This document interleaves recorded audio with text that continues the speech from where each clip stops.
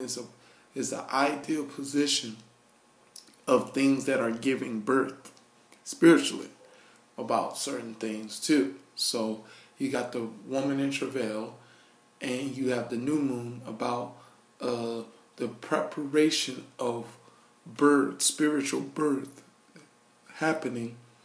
It's an interesting that.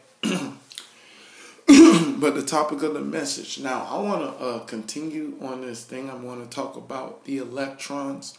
Now, I'm finna um see. I'm finna lead this idea teaching of the electrons of the atom to pretty much the idea of understanding the sequence of the purpose of the fruits of the spirit that I'm going to uh, show you how the fruits of the spirit is supposed to play a role to uh, to this negative energy, this negative that's going around the atom, this electron.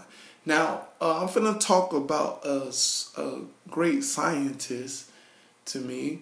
To me, should be celebrated once one of the greatest scientists, and for a long time, is called, his name is called Nikola Tesla. Tesla, Nikola Tesla. Um, I did videos on Nikola Tesla about he found out the code of 369 code that is very important concerning the keys of the kingdom of heaven that I'm pretty much trying to make sense of what his discovery that he was looking at that he was trying to figure out. Now Nikola Tesla uh, discovered an ideal way of utilizing energy, you know, that you, that energy is supposed to be utilized in a greater special a greater way if we're going to utilize it properly. More likely. More likely he discovered how uh how how how energy is not supposed to be something that first of all, you're not supposed to pay for. But energy is supposed to be a force of life, life that is supposed to just give out energy. Energy is supposed to be given out, kind of like the sun. The sun is an energy that is giving out all kind of energy. It's not taking any energy back. It's a uh, fusion that is creating its own energy to give out energy to us. It's not saying, okay, I'll give you energy. And in earth, you got to give me some energy. No, it's a force that's giving out energy. And what he discovered that, you know, pretty much has been discovered in the ideal of the pyramids, the, the pyramid of Giza, that people found out that it, it was that the pyramid of Giza was really a energy conductor. It was some kind of energy conductor that conducted an energy that uh, pretty much established had the earth in proper uh, harmony concerning energy. Pretty much an ideal of divine energy, but that's another message. Because I did a message on uh, uh, look for the gold. You know what I'm saying? Look for the gold, and you will understand uh, God's divine plan that you know, that the goal, just follow the goal, as it's called, follow the goal. And I show you that it's all about the goal that that the um that I showed that the Sethians built the pyramids and God instructed them to build the pyramids and put gold on the pyramids, cover the pyramids with gold.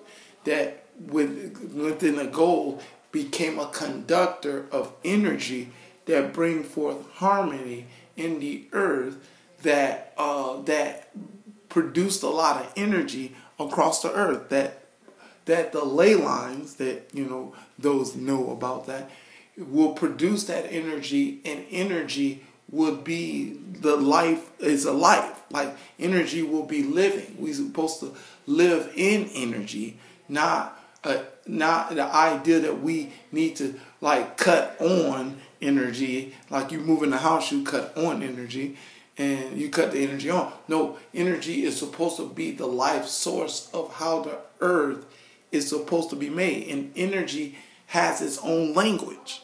You know what I'm saying? Energy has a whole lot of stuff that you know that Nikola Tesla was on that discovery pattern that you know finding out that energy is more than just something that you were supposed to use to see light. And he was on that and of course they had to slow him down you know from you know giving that discovery of how energy is we're supposed to operate in free energy that the rulers of darkness of this world don't want you to find out.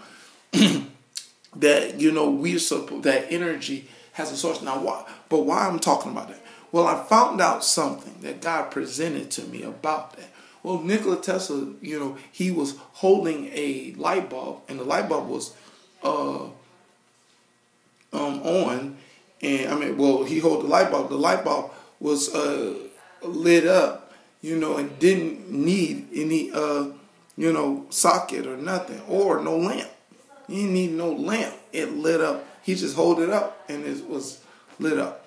Now, God was showing me about what the Egyptians did, you know, concerning, you know, pretty much de- desecrating the place that the Sethians built, pretty much the Egyptians. The Egyptians uh, desecrated. Now, they found out how to pervert energy. Pervert energy. Now notice like if you saw those hieroglyphs, you see a light bulb and a snake inside the light bulb. Now you should, if it's a snake in there, you should already know that something's wrong here. But uh, what God showed me and revealed to me in Revelation, you may not think it's true or not, but the Egyptians perverted the harmony of electricity they perverted the harmony of the energy concerning the idea of the spinning of the electrons. Like, for, for instance, energy is not supposed to like shock us. Energy is not, yeah, energy is not supposed to shock us like we get shocked by energy. Energy is not supposed to be operating in that force of frequency or force, I think, I'm a force of frequency. And and concerning harmony, concerning the hermeneutics that you know people in college know about that harmony hermeneutics that is the ideal of how you know really that everything is ran by harmony. And the uh, the electron is in a harmony force you know what i'm saying spinning around the proton and the neutron that is is supposed to spin at a particular rate that is not supposed to be something that will shock us, but it's supposed to be something that will bring harmony towards, you know, us. And a harmony, a harmonized energy that will restore uh, humanity. That I believe that happened in a time before the flood. That that's why they lived so long in a flood. That's why Methuselah can live 969 years old, and Adam lived to 930 something years old, and um, they live 800 years old. They lived long lives because of the harmony, harmony of the flow of the energy that was there at that time. People lived a long time. That will play a role to uh, the living that, but watch this. Those pyramids are not utilized right now. You know, they're you know pretty much uh, not working because I tell people because of the Earth axis. The Earth is off its uh, axis, and because the Earth is off its axis, that energy that they had at before the flood is not being utilized right now, and we're living in a energy harm un harmony, harmony, unharmony way, and that's leading to chaos, confusion, conflict, and chaos that is happening in the planet. But what I'm trying to want you to know that this is why, of course, the ideal of the plan of now. You said, what does got to do with Jesus Christ? No. Well, here's what Jesus Christ did. Jesus Christ comes to dis- restore what's what He has established in the beginning. Because I did a teaching message message one time that uh, the the star, the star of Bethlehem, the night star that shines so bright, was the ideal image of the energy that shined out of the flood. And I proved that with the uh, who's the what's this? Oh, Sumerians. The Sumerians has a picture of what star, or more likely what star, was was dominant over the night sky. It was a like a twilight, like a twilight, you know, like zoom, zoom, zoom, kind of like the uh, compass. You know, you see a compass and how the lights are sticking out. That's how kind of like the light was. You know what I'm saying? That should was the main power source of life on earth at that time.